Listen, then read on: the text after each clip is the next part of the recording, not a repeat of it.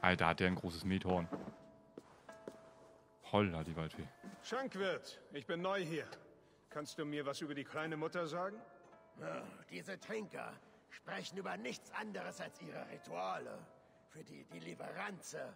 Hab ich recht, Bastian? Du versoffener Schwätzer?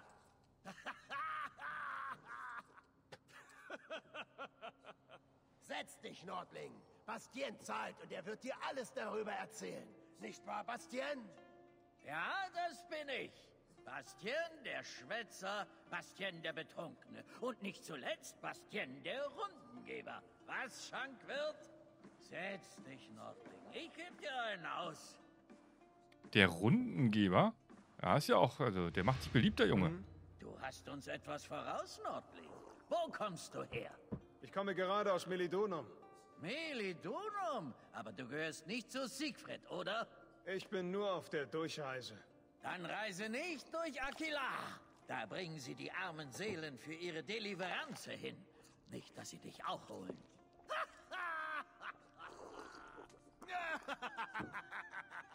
Erzähl mir von der kleinen Mutter und dieser Deliveranze. Sie macht uns viel Arbeit, das kann ich dir sagen. Und seit sie diese Gefangene hat, ist es noch schlimmer. Psst, Bastien, misch dich nicht in Gottes Angelegenheiten ein. Eine Gefangene? Jemand, der dem König nahesteht, sagt man. Eine Frau ist es. Mein Gott, Bastien! Aber darüber dürfen wir nicht sprechen. Gott könnte uns hören. Trinkt aus, Freunde! Bastien bezahlt! Ich finde also ich, ich musste gerade ein bisschen gucken, dass ich auf, aufs Gespräch mich konzentrieren kann. Was macht ihr denn da? Wie geil. Weil jetzt mit dem, mit dem DLC haben sie so wesentlich mehr RPG-Elemente mit eingebaut. Sich einfach mal irgendwo hinsetzen, wie sie sich Brot schnappen und also, das ist schon ganz geil. Was bist du denn? Gestreichelt werden? Weiter. Komm her. Ja.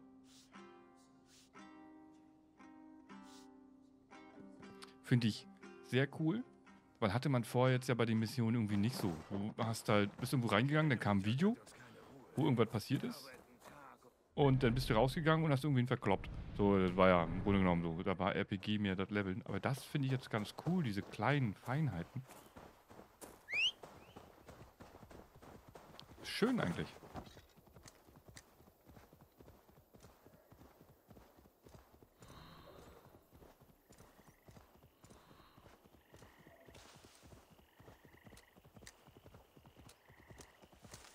Irgendwie fetzt der Lux.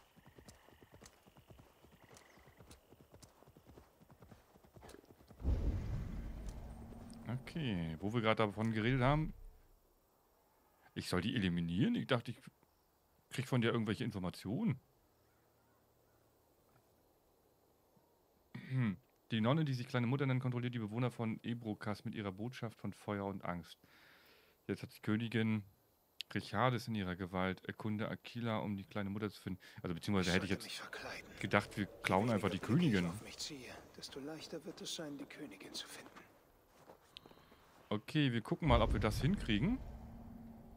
Dann hängt das ein bisschen mehr von unserem, oder meinem Schleichskill ab. Ich finde schön, das, äh, ja, ähm, das, äh, die Art der Bewegung ist super.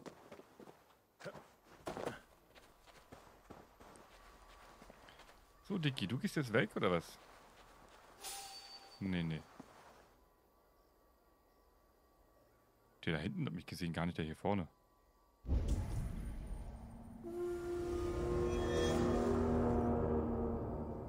Oh, der war tatsächlich auf Zeit. Oh. Okay. Gut zu wissen.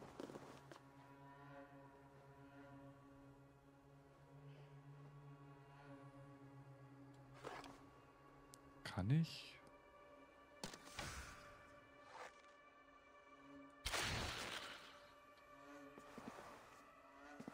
Da, Ratten.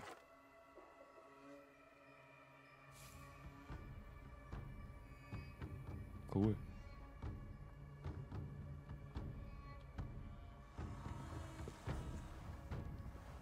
Warum kriege ich den jetzt nicht mehr? Warum kann ich kein Attentat mehr machen? Jetzt. Jetzt würde ich den da gerne mitnehmen, den anderen. Genau. Gleich im Grab mit eingebuddelt. Dürfte mich ja keiner gesehen haben. Nee, okay. Wir nehmen den Schlüssel mit. Der Schlüssel der Wache. Er wird irgendwas in der Nähe öffnen. Das denke ich auch. Das mit den Ratten ist ganz gut für Stealth. Weil da schließen die dann nicht unbedingt auf mich, wenn die den Pfeil nicht hören, glaube ich.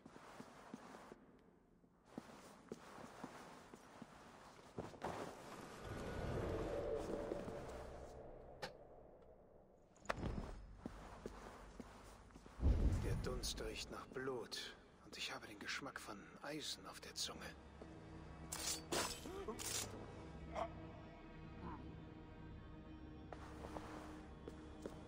Christliche Särge. Die meisten sind ziemlich alt, aber dieser ist neu.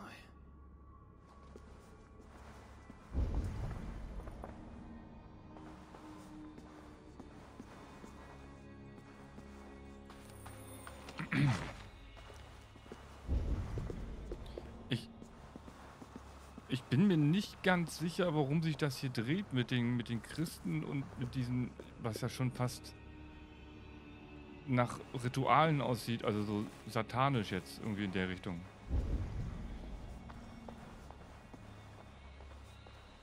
Interessant.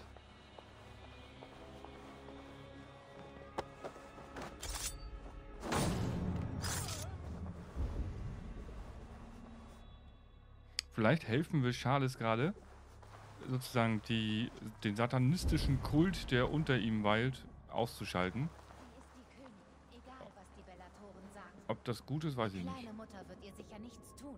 Das wäre nicht recht. Oh, du hast mich erschreckt. Bist du einer der neuen Gehilfen? Hm, hm, Gut, hm. das ist gut. Ja, ich wurde geschickt, um zu helfen. Du hast dir einen schlechten Zeitpunkt ausgesucht.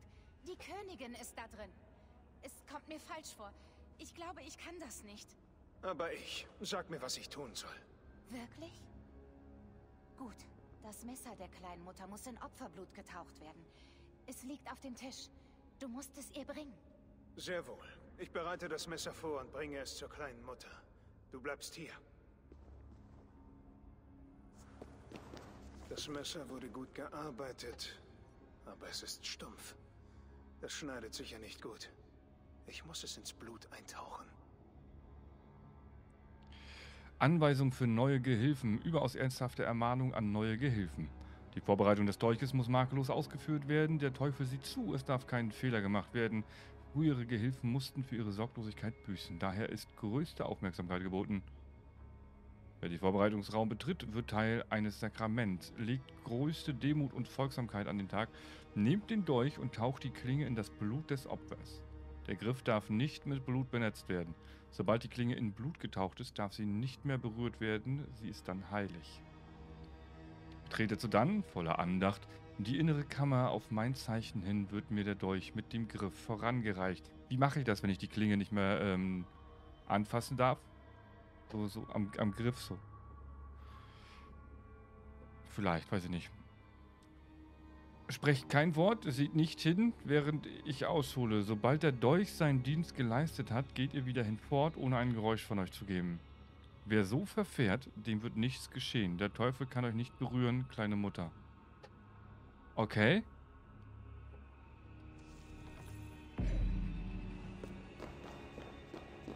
Klar, hier liegt ein Bein. Ist äh, alles sehr christlich gehalten hier. Hier liegen noch mehr Beine und ich befürchte, da ist noch mehr an den Beinen dran. Skelette da oben. Alter, was? Wie gut.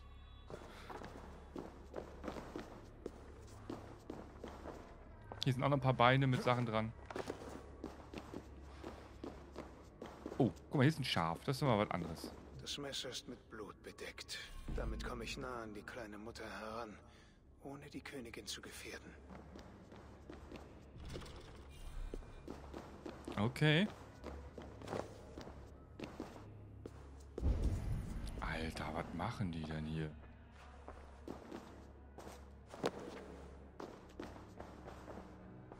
ich sie offen angreife, könnten sie die Königin töten.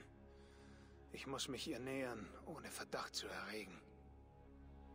Bellatorenbrief Euphrasia. Sobald die Königin gesichert ist, musst du schnell handeln. Wir können nicht erwarten, dass ihre Entführung lange unentdeckt bleibt. Die Königin ist vor allen anderen der Schlüssel zur Erlösung des Frankenlandes. Warte nicht auf ihre Zustimmung, versuche nicht mit ihr zu reden. Gott selbst hat sie in unsere Hände gegeben und wir müssen die Pflicht erfüllen, die vor uns liegt. Treibe den Teufel vollständig aus ihr heraus. Wenn du unterbrochen wirst, bevor die Aufgabe erfüllt ist, muss sie durch deine Hand sterben. Wir können nicht zulassen, dass sie weiter unter dem Einfluss des Teufels lebt und den König in seinem Sinne beeinflusst. Sei nicht besorgt über die Schwere deiner Aufgabe, dies ist der Moment, für den du geschaffen wurdest und wegen dem Gott dich errettet hat. Er hat dich mit einzigartigen Gaben ausgestattet, nutze sie jetzt mit der absoluten Gewissheit, dass es sein Wille für das Frankenreich und für sein Reich ist. Soli Deo Gloria Isidorus.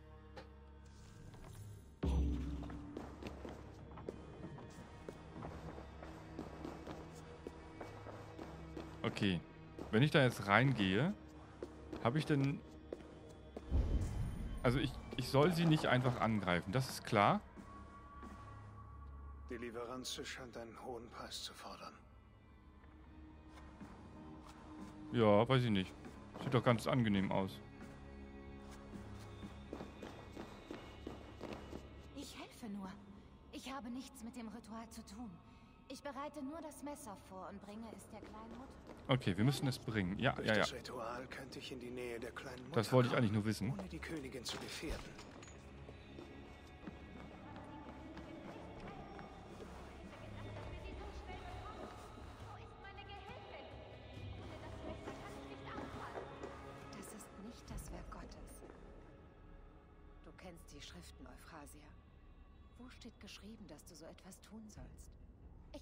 Meine Anweisungen von Gott, wie du schon bald sehen wirst. Das ist die Königin. Sie wird von der kleinen Mutter festgehalten. Und das sind ihre besten Wachen. Ich sollte sie nicht frontal angreifen. Vielleicht kann ich sie irgendwie ablenken. Die Wachen haben den Schlüssel für die Zelle. Vielleicht lenkt es sie ab, wenn ich sie öffne. Okay.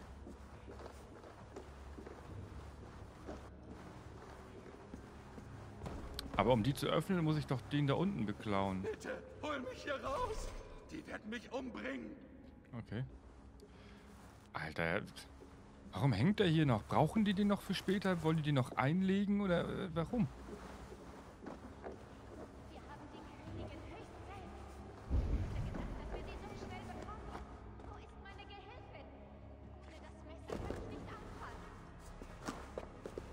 Warum guckt er hierher? Der hab ich gehört.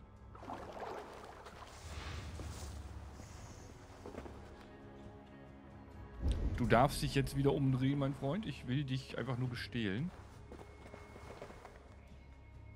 Hallo? Wer guckt? Ähm. Ach komm.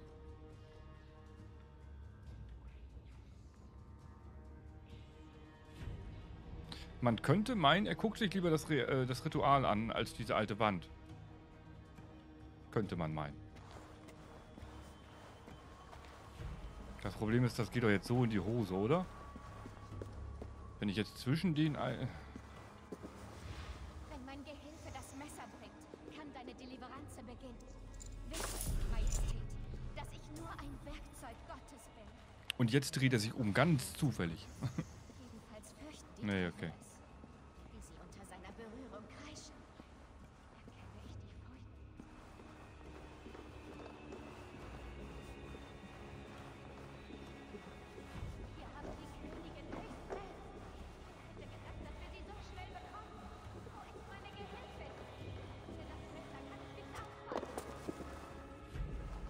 So, so du willst raus, ne? Verschwinde von hier, ehe man uns entdeckt. Gott sei Dank!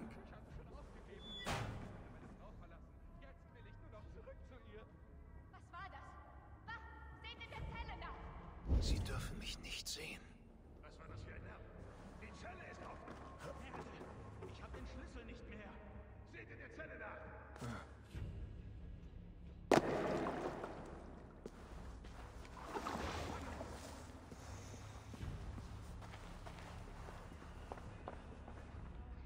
So. Ah, hier kommt auch schon mein Messer. Wir können anfangen. Er hat die Klinge berührt. Ich bin die kleine Mutter, berührt vom heiligen Taurinus, erwählt von Gott. Du bist nur eine Zuchtstute, die mit einem König vermählt wurde, den sie nicht liebt. In deiner Verbitterung bringst du ihn von Gottes Weg ab. Aber, Majestät, vor einer wahren Dienerin Gottes lässt sich nichts verbergen. Gott weiß, dass ich nichts verberge. Alles Lüge. Du sprichst für den Teufel. Merkst du es nicht? Doch wir werden ihn aus dir herausschneiden. Dann sehen wir der Wahrheit ins Auge. Du und Gott und ich. Verlass dich darauf. Reiche mir mein Messer. Aber natürlich.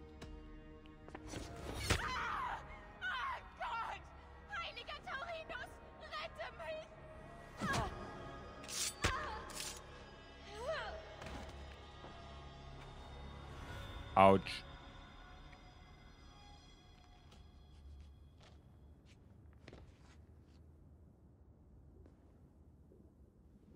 Aber dich will ich erretten. Weil du mir vertraut hast, spricht der Herr. Es tut mir leid, dass sie sterben musste. Sie war nicht immer so. Und sie war zu jung für so viel Bitterkeit. Deine Tat war unbarmherzig. Aber deine Ankunft Gottes Werk. Du gehörst zu den Northmannen, nicht wahr? Ich bin Eivor vom Rabenclan. Und ich bin nicht hier wegen irgendeines Gottes, sondern weil dein Gatte, der König, mich schickte. Charles hat dich geschickt? Vergeuden wir keine Zeit. Wir müssen einen Weg hinausfinden, ehe wir entdeckt werden. Ich kenne einen. Folge mir. Ich habe mich noch nicht bei dir bedankt. Das war sehr tapfer von dir. Das war nicht Tapferkeit, die mich hier führte, Schon wieder. sondern eine Vereinbarung mit Charles, um dich zurückzubringen. Ratten. Die Seuche führte sie her.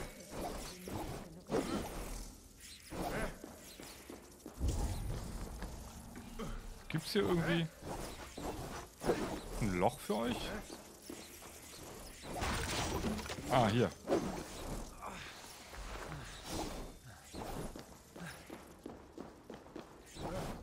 So, jetzt haut ab hier. Los. Rein da ins Loch. Hopp. Hoppala. Los, rein da jetzt.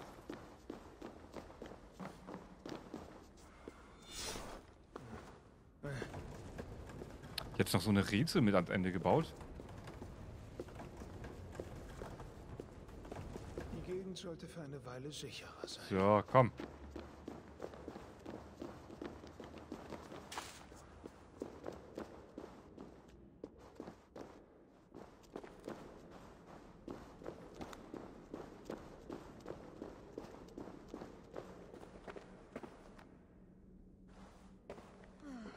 Hier geht es nicht weiter. Die Mauer gibt nach.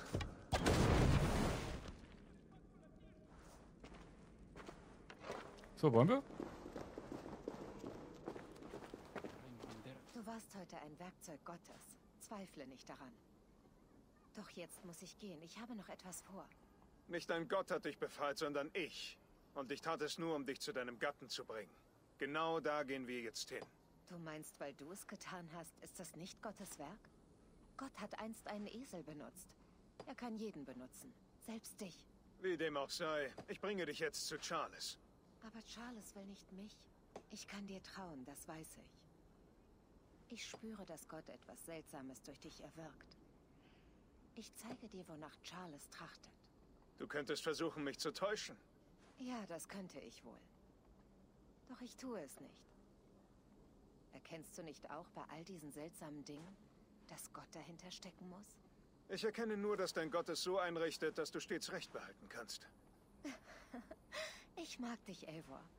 Ich sehe, warum Gott dich erwählt hat und warum wir uns anfreunden sollten. Wir gehen gemeinsam.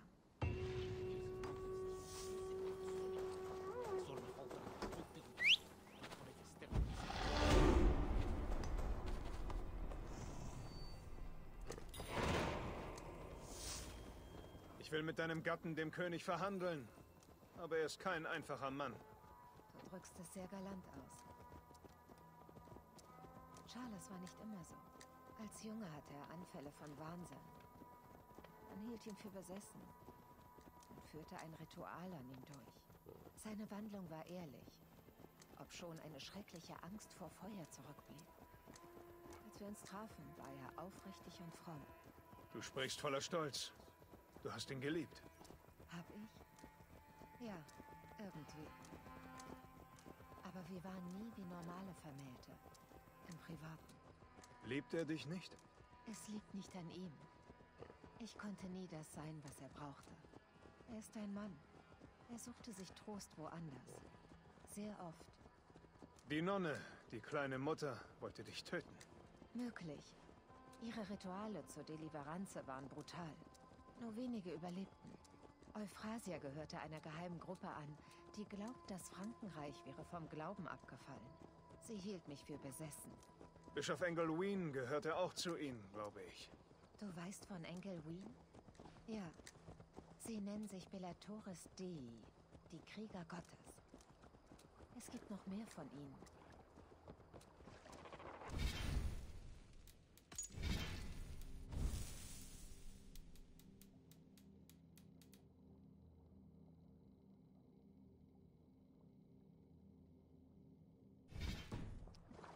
Habe jetzt ein bisschen lauter gedreht am Mischpult. Musst du mir gleich mal sagen, ob das reicht, wenn sie denn noch was sagt. Das macht halt alles insgesamt lauter, ne?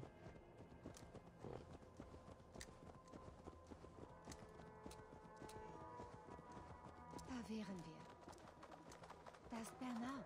Wir sind so weit gereist, um ein Kind zu treffen? Ja. Charles hat einen Sohn.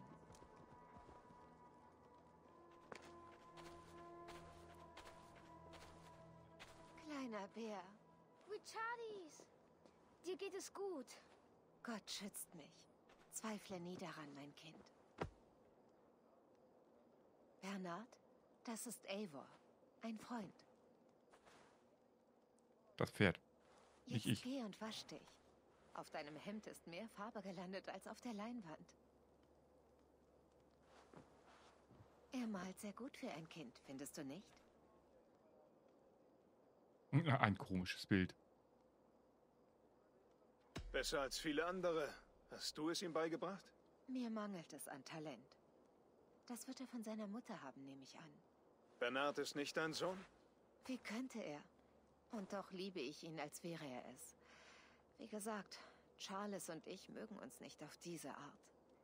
Aber er ist ein Mann, ein König. Natürlich fand er andere Möglichkeiten, um seinen Appetit zu stillen. Daraus entstand Bernard. Versteckst du den Jungen vor seinem Vater? Charles will, dass Bernard ihm auf den Thron nachfolgt. Und Bernard will nichts mehr, als seinen Vater zufriedenzustellen. Deshalb halte ich Bernard von ihm fern. Er würde das Kind auf einen dunklen Weg führen. Den falschen für einen guten König. Ich habe mit Charles vereinbart, dich zu ihm zurückzubringen. Das Kind war nicht Teil der Abmachung. Das lasse ich auch nicht zu. Bernard weiß, dass er zu einer Kirche gehen soll, wenn er Hilfe braucht und ich nicht da bin. Ich muss wieder los. Wenn ich zurückkehre, will ich deine lateinischen Verben hören. Ich weiß, dass du ohne mich zu Vater willst. Ich bin nicht dumm, weißt du? Hältst du Bernard von Charles fern, um zu verhindern, dass er König wird? Du missverstehst mich, Eivor. Bernard muss den Thron besteigen, zum Wohle des Frankenreichs. Du siehst ja, was aus Charles wurde. Bernard ist jung, aber er wäre ein guter Herrscher. Einer, der mehr Mitgefühl für unser Volk hätte. Wenn Charles das Kind will, wird er nicht erfreut sein, wenn du allein kommst. Ich hoffe nicht. Charles weiß, dass die Bellatoren mich gefangen nahmen. Er sollte besorgt sein. Wir haben uns zuletzt oft gestritten. Aber er schickte dich, um mich zu retten. Vielleicht möchte er sich versöhnen.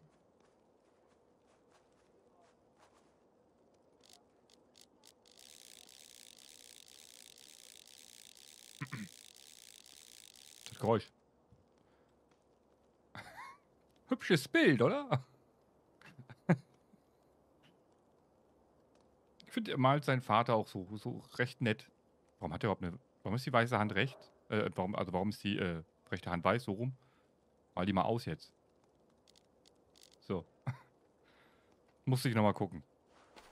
Okay, wollen wir los?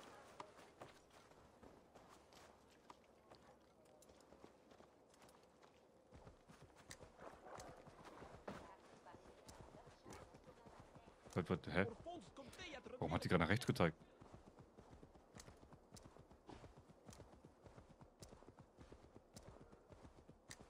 So, jetzt gib mal Gas, bitte. Wir sind aus dem Dorf raus. Gut.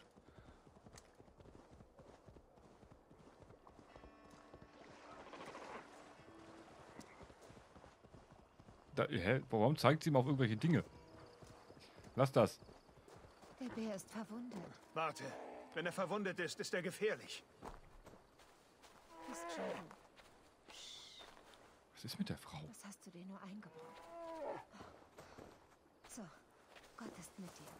Pass auf dich auf. Und ab mit dir. Es sind edle Tiere. Er hatte aufgegeben. Doch jetzt geht es ihm gut. Gott sei Dank. Sind alle fränkischen Bären so zahm? Alle Geschöpfe Gottes reagieren auf Liebe, Ava. Vor allem, wenn sie verletzt sind. Oh. Daran sind sie den Menschen nicht unähnlich. Du hast ein Händchen für Tiere. Doch jetzt sprichst du von Charles. Glaubst du, dasselbe gilt sogar für ihn? Ganz besonders für ihn. Wir sind da. Charles Lager. Na dann. Okay, dann, geh- dann reiten wir halt hin, wenn du nicht gehen willst. Ich habe unsere Vereinbarung erfüllt. Hier ist deine Frau, die Königin. Sie ist unverletzt. Charles, Mein geliebtes Weib. Endlich stehst du wieder vor mir. Du brauchst sicher eine Erfrischung nach deiner langen und beschwerlichen Reise. du bist immer noch zornig. Es ist unbegründet, Charles. Ich war dir ebenso treu, wie ich Gott treu ergeben bin. Es tut mir leid, dass ich Bernard mitnahm. Aber Ach ja, mein Sohn. Ich dachte, wenn ich dich finde, finde ich ihn. Aber ich sehe ihn nicht.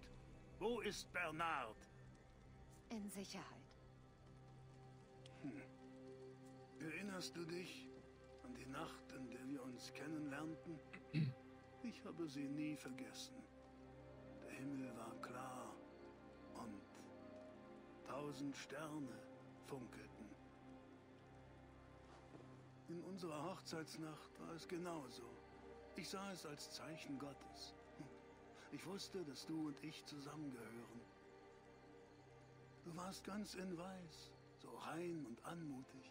Ich dachte, heute Nacht bin ich nicht der Prinz, sondern der glücklichste Mann auf Erden. Welch Glück, eine Frau zu finden, die so leicht in das Bett eines anderen fällt. Du hast mich nicht zum Mann genommen, sondern zum Narren gehalten.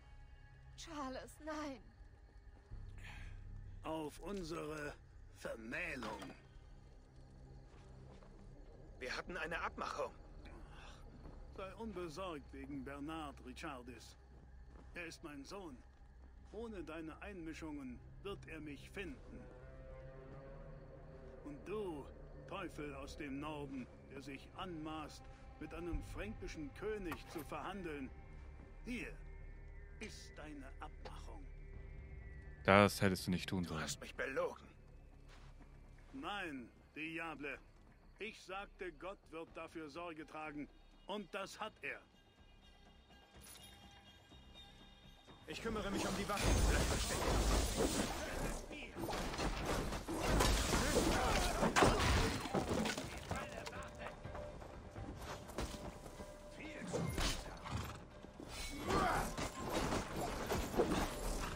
Kommst du her?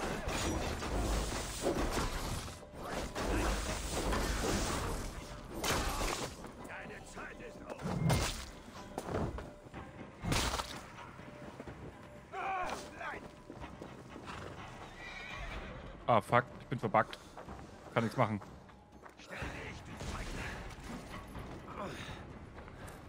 Ich, kann, ich, ich drück kämpfen, aber guck mal, er macht nur das hier. Nee, nee, nee, nee, nee, nee, nee, nee, nee, nee, nee, nee. Jetzt geht's wieder.